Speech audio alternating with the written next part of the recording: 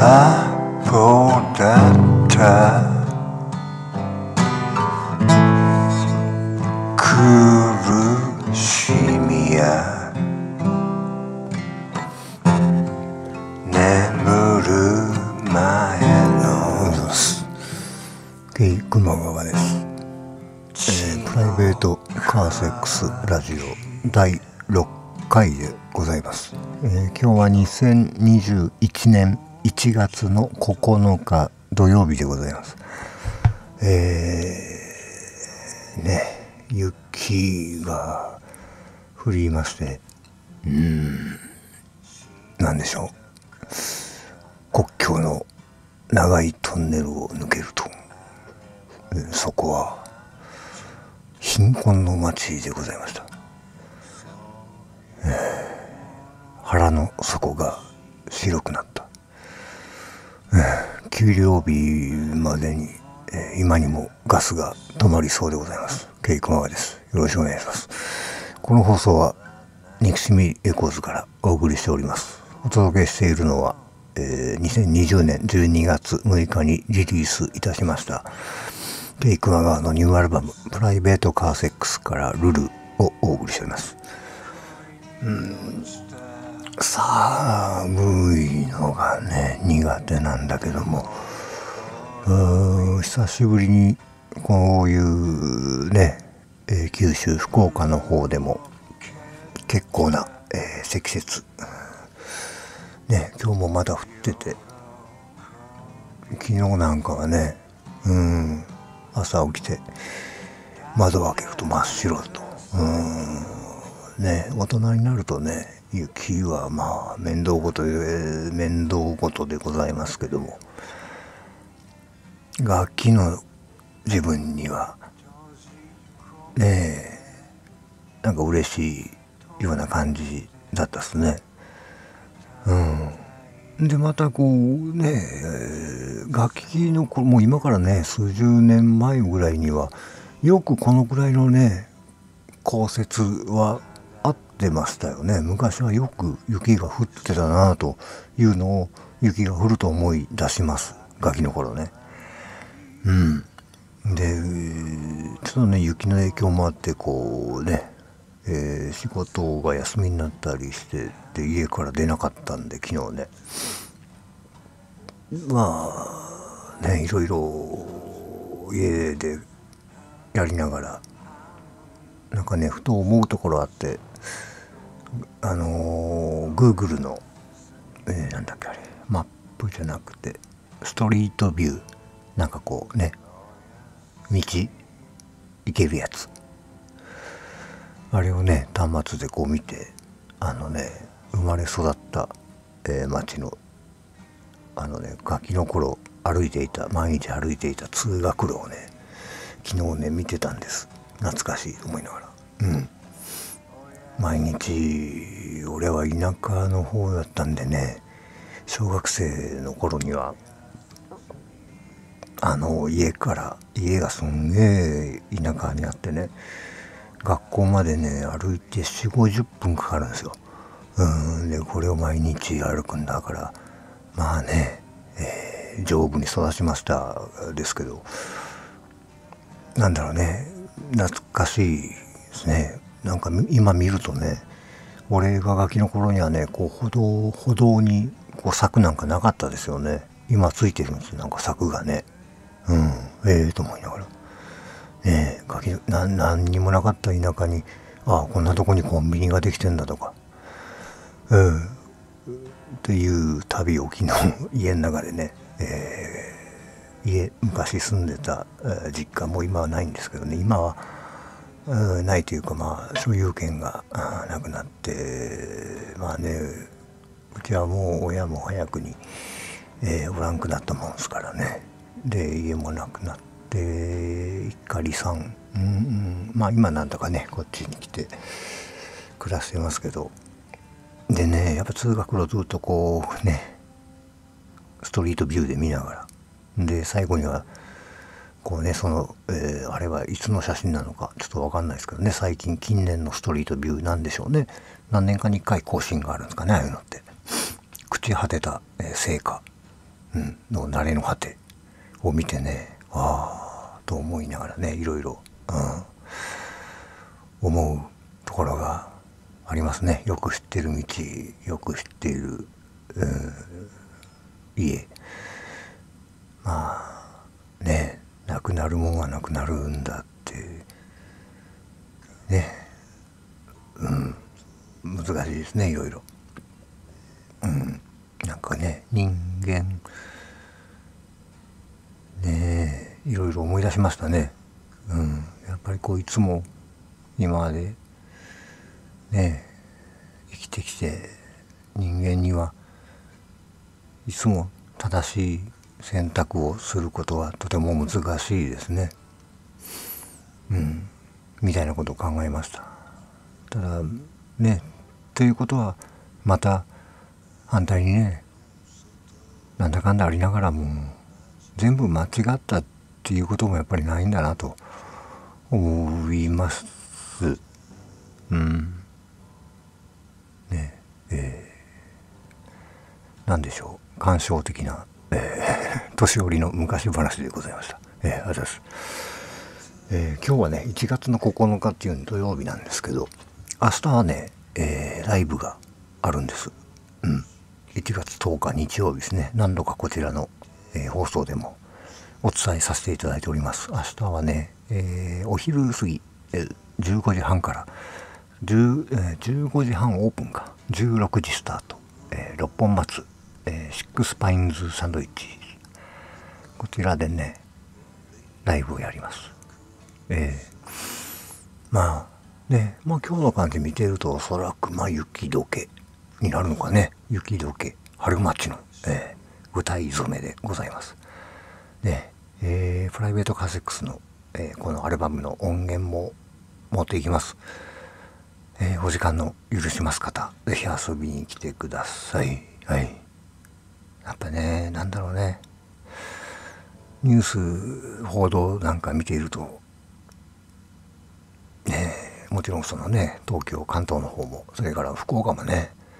えー、いわゆるそのコロナで、ね、関東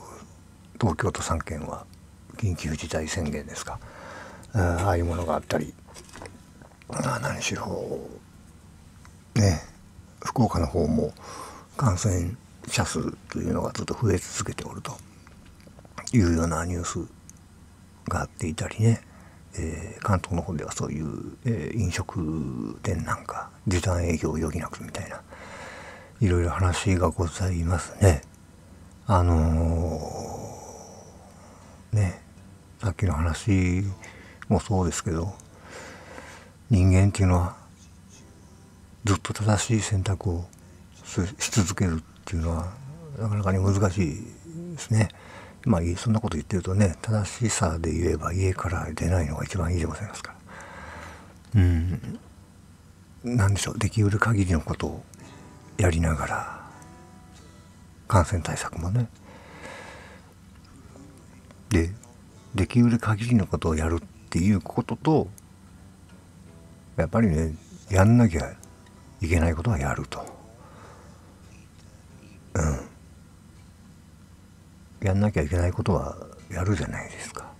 それがやりたいことだからっていう理由だとしてもやらなきゃいけないことだからっていう理由にしてもね、ま、その中であただもちろんねこういうご時世なんで。うん俺が思ってるのはもうそのねやっぱりその協情的なもの、もしくは不権主義的なものパターナリズムによるもの。あのとにかくその情報にせよねえー、っと倫理性にせよね道徳にせよもう何でもいいんだけど理由はうんもうマウンティングのために動くたくないとにかく発言もしたくないですのでね、えー、俺はもうね本当ガス止めますよって来たのをもうちょっとだけっつって払いますからなんとか算段しますっつってガスが止まるのをなんとか今のところいつ止まるか分かんないですね。朝今日止まるか明後日止まるか。これはつまり、えー、俺が困ってる人間だっていうよりも頭が弱い人間だっていう話なんですけど。だから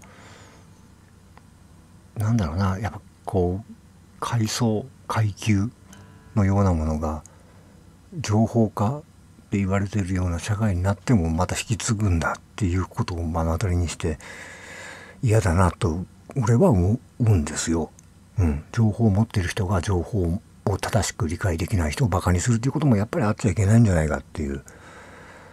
うん、だから少しバカなふりをして今生きてるんですけど あのねとにかくちょっとと散らかってますけどねあのいろんなことが、えー、きっと今しばらくの辛抱なんだろうといろんなことがきっと今しばらくの辛抱なんだっていう名前の世界であってほしいと思っております。えー、ケイクマでございます。えー、このラジオを始めてずっとねちょうどそのねタイトルも「プライベートカーセックスラジオ」でそのね2020年の12月にリリースした「プライベートカーセックス」っていうアルバムのこれプロモーションを兼ねてっていうかまあリンクしてやり始めたんですけどラジオ的なものをやりたい。ラジオでダラダラ喋っている感じを出したい出したい、うん、やりたい、うん、でやっててえっ、ー、とねそれでずっと第1回目からおそらく、えー、この音源プライベートカーセックスからの曲をかけたりなんかしてたんですけど年明けてね、えー、今年2021年は、えー、こちらでもよく述べております。10周年ケイクマ側の名前で音楽やりだして10周年でございますんでこの10周年記念イヤーということでちょっと次回からはねいろいろちょっと、えー、例えばあのー、このね私がやっとる自主制作レーベル憎しみレコーズっていうのがあるんですけど、うん、こちらからのねアーカイブっていう形で YouTube にも、えー、過去作の音源を、えー、フルでアップしたりなんかさせてもらってるんですけどもこの辺りのものをちょっとねあんまりそれについて喋ってるものって特に初期のものはあんまりなかったりするので、えー、ねこれをちょっと掘り下げて次回から、えー、憎しみレコーズのアーカイブといたしましてこれまでこれまでにケイクマ側が作ってきた音源をここでかけながら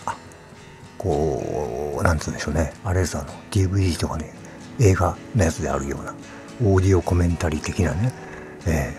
ー、音源かけながらいやこれ撮った時はさみたいな話をちょっと次回からしてみようかなと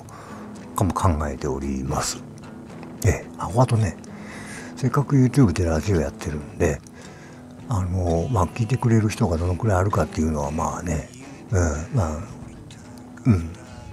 皆さんご自由に、はい、よろしくお願いしますなんですけど、えー、こちらの方でねいろいろ例えばご質問とかね、えー、応援のお便りとかね、えー、ございましたらちょっとね送っていただきたいなと思います、えー、メールアドレスも、えー、ケイクマガワ at gmail.com ですね。こちらの方にラジオって書いてあのね何かしら送ってきていただけると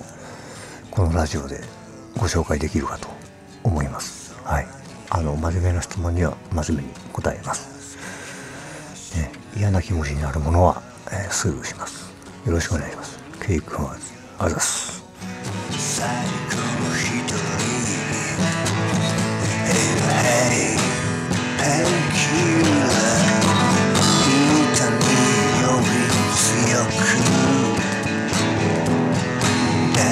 抱き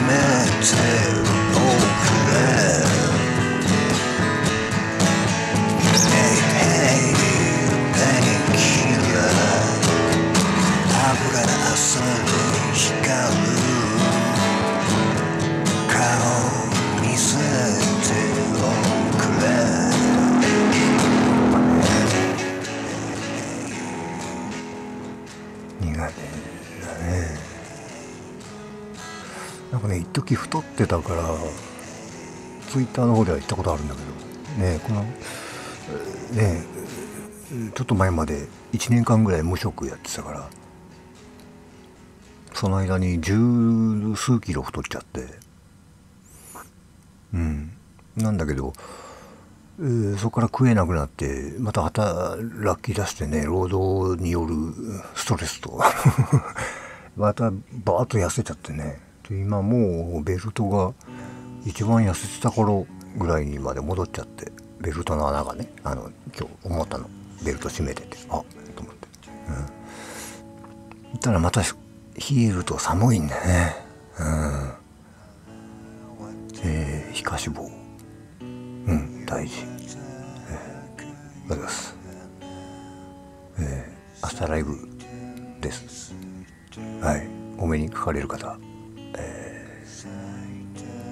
よろしくお願いします。ケイクマンです。